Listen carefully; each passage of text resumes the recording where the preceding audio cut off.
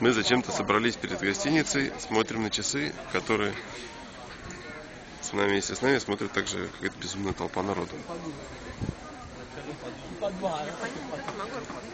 С камерами причем.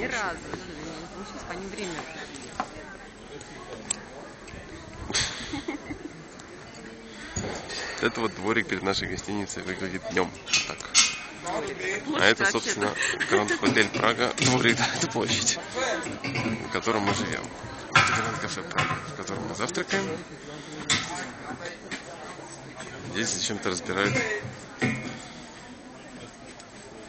летние терраски. Еще, а, еще сколько? Несколько минут до начала. Включим, когда начнется.